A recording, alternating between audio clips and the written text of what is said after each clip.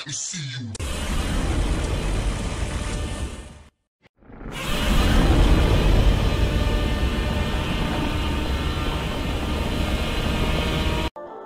What's up, Godzilla fans? Good Gojira 5400 here, and today I am uh, here to do the second installment of my Let's Play of Godzilla Smash 3.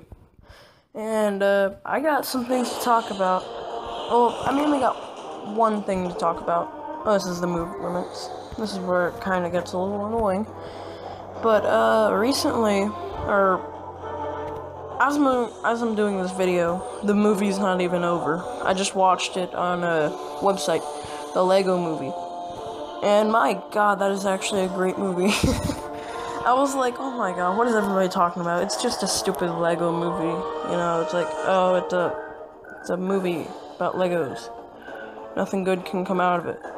But I'll admit, I was totally wrong. I mean, that movie was actually really awesome. That's a good comment. But it was a really good movie, I will say. I mean, I can't believe that. I can't believe, like, I don't think I've actually ever been this surprised by a movie. Because it seems the dumbest. It seems like the dumbest idea ever. But it turns out that the Lego movie is actually good. I mean, that's a big surprise to me. It is probably my second favorite film of 2014, right next to Godzilla. That's a pretty, you know, deserving spot on my list. You know, I mean, I can't believe that I'm saying this and it's about Legos. But I don't know how, but that film was pretty good, in my opinion. So I just wanted to get that out of the way. But other than that, there's really not that much about the movie I can really say because this is kind of a spoiler thing. You know, it would be spoilers. But, you know, it was a good movie. Now, uh, a little on to the topic I was originally going to talk about. Well, I wanted to talk about uh, Godzilla games. And uh, more of how I think a Godzilla game, you know, how a Godzilla game should be. Now, this isn't, you know, a bad Godzilla game. I actually kind of like this, you know. Now that I'm taking the time to take a look at it, I actually find it a pretty cool thing, you know. It's definitely not my least favorite Godzilla game. There's a lot of Godzilla games that are actually pretty dang stupid. I mean, this is a pretty, you know, good one, I guess. Certainly not my favorite, though, like I've said before. But I just want to talk a little about uh, how I think a Godzilla game should be made. Now, I did do a video on that.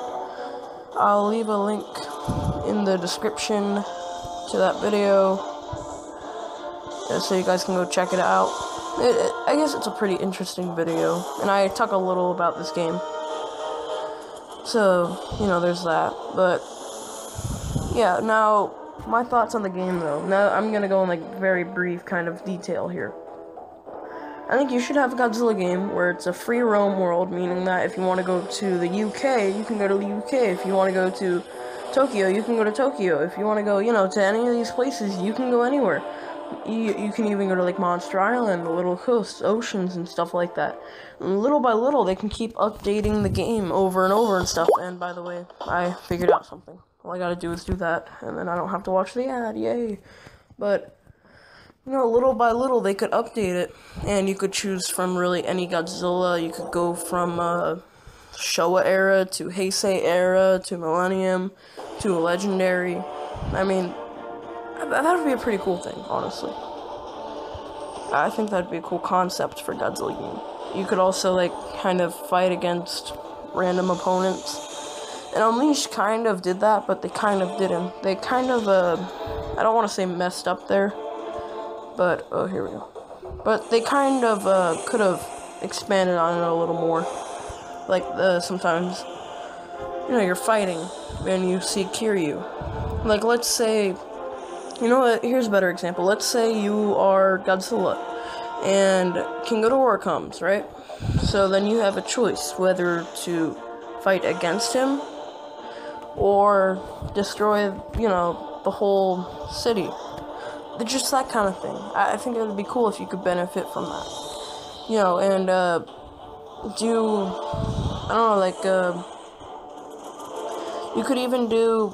I'm trying to you know think what I said. I forget. But you could even do something like Godzilla.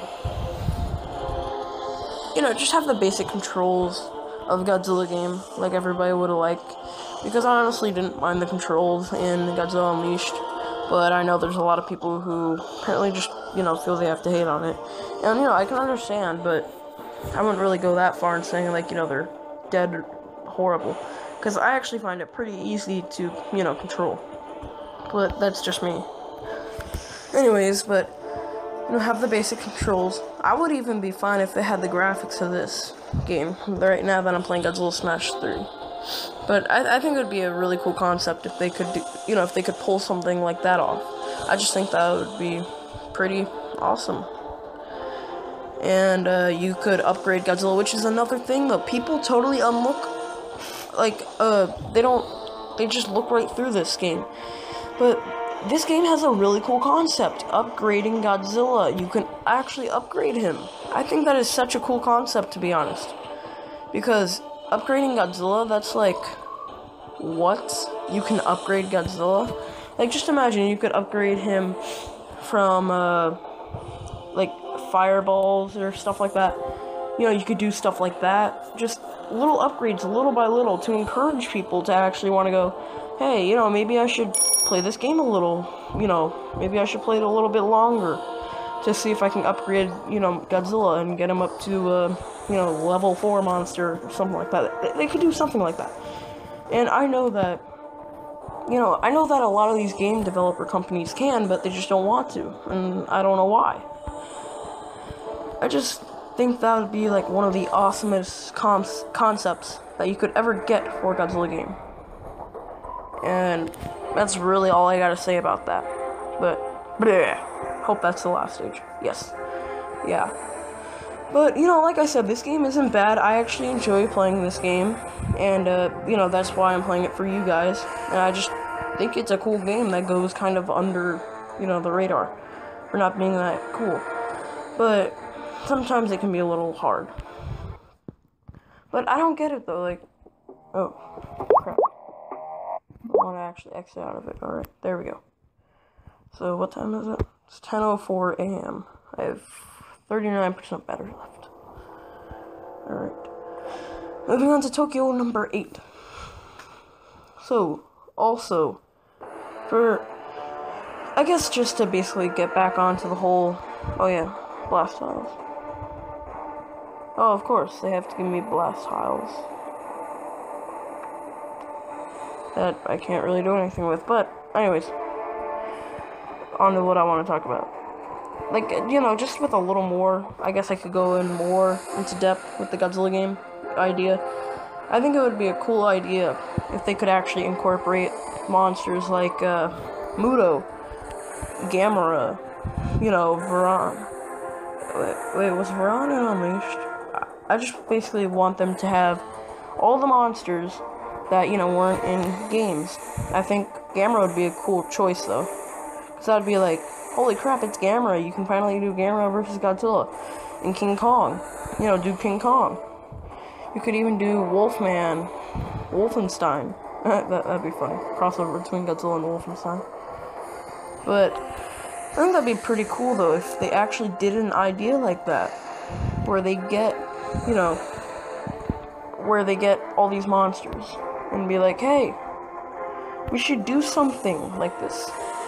You know, get all these monsters in one game so you can have them fight. It could be like a Smash Brothers for the kaiju. You know what? Scrap my idea. Do a Smash Brothers, but for kaiju. A kaiju Smash Brothers. Now, who doesn't think that's awesome? That would be like the most awesome thing ever. I would real I would literally poop my pants if they actually created something like that. You know, had Ultraman, Godzilla, Gamera. They they would even have like Yongary and stuff like that. Gorgo, that would be a cool one to incorporate. Just all these opportunities. And I think a game like that would actually sell. There's been rumors and the, you know, little whispers in the wind about how they were going to come out with something like that for the Wii U. And I had my fingers crossed for that, but it looks like it's not coming out. The Godzilla game has been really, or the Godzilla movie's already been released, and that would have been the smartest time to actually, you know, do it. Or maybe a little bit after. Alright, so. But, I mean, that, that would be awesome. Just think of it. That, that would be really an awesome idea to do a Smash Brothers, but Godzilla. I mean, everybody knows how awesome Smash Brothers is. Yeah. But, anyways, uh, you know, speaking of Smash Brothers, I'm also kind of, I, I'm kind of into video games. You, you guys probably didn't know that, but I'm kind of into video games, and I've been looking, uh, I've been watching E3 and stuff like that. You know, I, I was watching E3, and also, just a bunch of, like, updates for Smash Brothers. And there's a few characters I've seen that look totally broken. If you guys don't know what broken me- is, that just basically means that they're too powerful, they're too good for the game. You know, right away they're gonna just dominate. You know, it's gonna be horrible. And uh, I think one of them was Rosalina. I, I think that was a yeah, Rosalina. I think she was. I don't know what she was from. I, I think she might have been from like the, the Mario Galaxy. I have. I honestly have no idea. But I just remember that name because I've never really been big into those Mario Galaxy kind of stuff. But she looks totally broken apparently like you can control like a star thing you can also attack and stuff like that. And i think it's going to take a little time to get used to but she looks broken. I mean oh talk about op and also little mac. Now little mac uh little mac if you guys don't know he is supposedly the strongest character ever. Oh crap this is time. He's supposedly the the strongest character to ever hit Smash Brothers, and I, I forget the guy's name, but he does all the Smash Brothers stuff, and apparently he uh, said that he's hitting at kilotons and stuff like that, and that's uh, pretty dang hard actually. So I mean, I like his his weakness is like, if as long as you have him in the air, you can probably win. But I don't know. He he just looks and kind of sounds broken right off the bat. Like kill, was it kilotons or megaton? I forget what it was, but it, it was pretty OP sounding. Uh, but you know, just a bunch of these characters, and the villager looks pretty, pretty broken in my opinion. I don't know, but it's just a lot of them. And they're also coming out with way too much stuff. Like, I. They're coming out with way too much stuff. They should at least hide the characters. Now, Pac Man is available. Um, you know, I heard. I saw a video on it. I mean, all these characters are like. Like, popping up. It's like, hey, why don't you just kind of keep them quiet, you know? You know, chill. Lay back a while. You don't have to exploit every character that's going to be in the game. But I guess that's their, you know, kind of thing.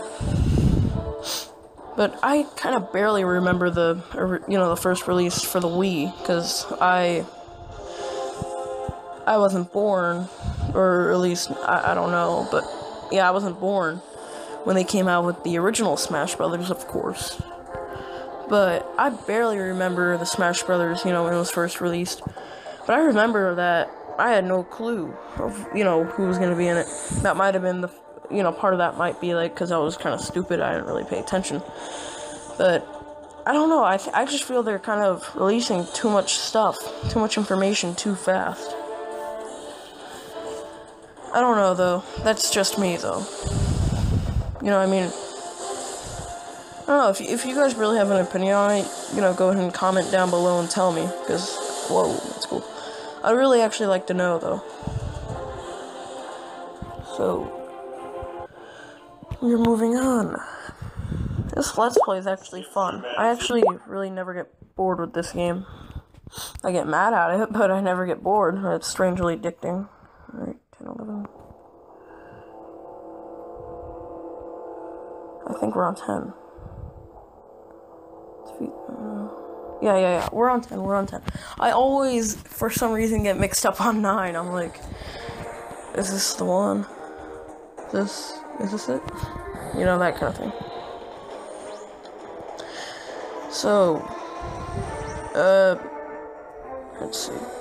At the end of this level, in case you guys can see that thing, the pop-up thing that always is there that tells you about the mission. In case you guys can see that though, I'm not gonna spoil it. It's pretty cool. This is like the best episode or the best level so far, you know, and so far that we've gotten through. Of course, there's, you know, episodes just like this. Or why do I keep calling them episodes? I, I guess I can, but they're levels. But this is a pretty cool level.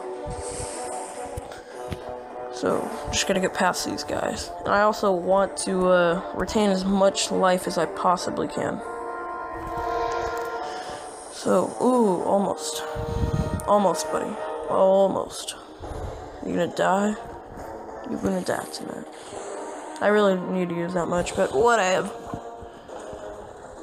Also, uh, today I'm going to read the Godzilla Awakening book again. I don't know why, but I never really felt like reading it again because, well, I got it the day of the movie when the Godzilla movie was coming out, so I was like, hey, you know, I, am not, you know, so I was pretty excited about reading it, but yet I was still like, hey, you know, I just want to see the movie. So I didn't really pay that much attention to it, although I kind of paid more attention because, uh, because it's a prequel to the movie. So let's just try to get past this. Wait, why am I doing that? I guess I can. That's a good idea. Alright. Let's see. Attack. Alright. What's that? Oh, it's the flying Muto. It's the flying Muto. Oh, no. Alright. I also like the blood. It's like pretty cool.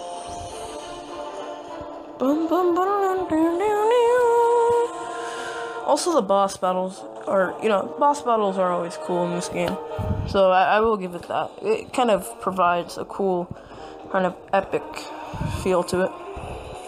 Die. Whoa. Die. This is for Monster Island. Alright. And final blow. Finish him. Yeah. I always love to do that. So, smash time. Oh, I don't know if I told, I don't know if I said this in the video already. But uh, I'm doing five stages per episode. So, yeah, that's it. We made it all the way up to level 10, though. So I guess that's it for this episode. So let's just A panda, seriously. I've seen that ad way too, too many times. But and that's just one problem with the update. I noticed that you always have to get those ads. But so that's basically the whole video, though. So thank you guys so much for watching. Please rate, comment, subscribe, give a big thumbs up if you enjoyed this video, and Gojira 5400 out.